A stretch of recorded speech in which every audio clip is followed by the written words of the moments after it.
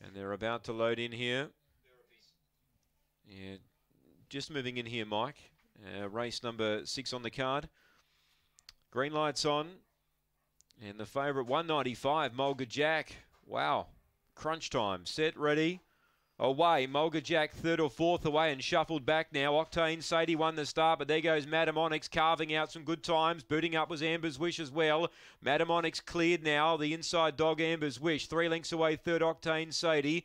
Uh, fourth, Nitro Kiss. Mulga Jack can't win from there. Back on its inside, Zazuda Khan. Then came Pretoria Sun. Then Iona Michelle. Later off the back, Madam Onyx. She's the one to catch. She's doing it really well. Five or six clear. Octane Sadie challenging Amber's Wish for the minor end. But Madam Onyx too good. Octane Sadie second. Amber's Wish third.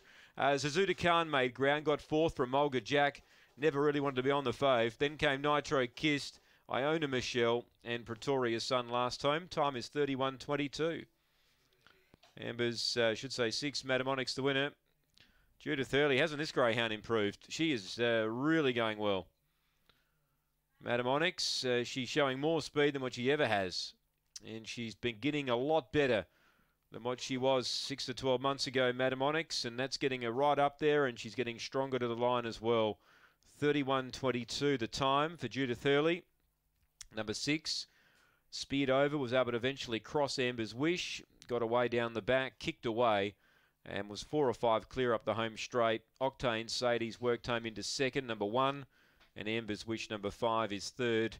Uh, four does get fourth, and that is Zazu Khan. Six, one, five, and four. Margin in the end is five and a half by a length and a half. Five and a half by a length and a half. Time is 31.22, and it's six, one, five, and four.